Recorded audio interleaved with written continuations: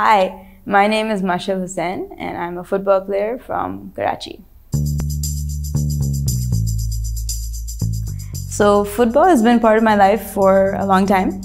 And not only has the sport changed my lifestyle and, and the thing that I'm trying to do with it is that uh, it had such a huge impact on my life. There's also jobs in this game. And so for me, it's really important to create this kind of ecosystem where it's accessible and people know about it.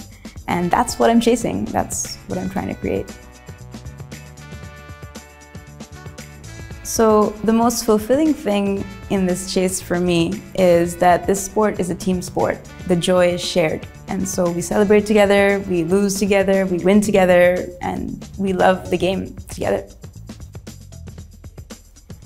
So because I snack so much and so frequently, um, I always prefer to have like you know a healthy option. I always prefer fruits and vegetables. But if, if I'm honest, खराब हो जाते हैं bag में. Like so like I'm looking for things that you know don't spoil, don't go bad so quickly, um, and as sort of as less processed they are, the better.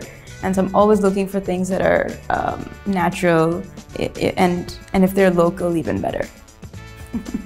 If my diet could speak to me, on a Sunday it would scream for help, but during the week I think it would just be it would be really happy. It would it would it would tell me that it appreciates that I eat consistently clean, sort of uh, natural food.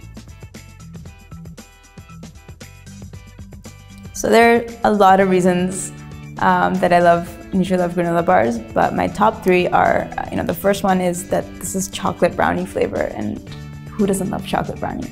And two, it's easily available everywhere, it's local, um, and it's affordable.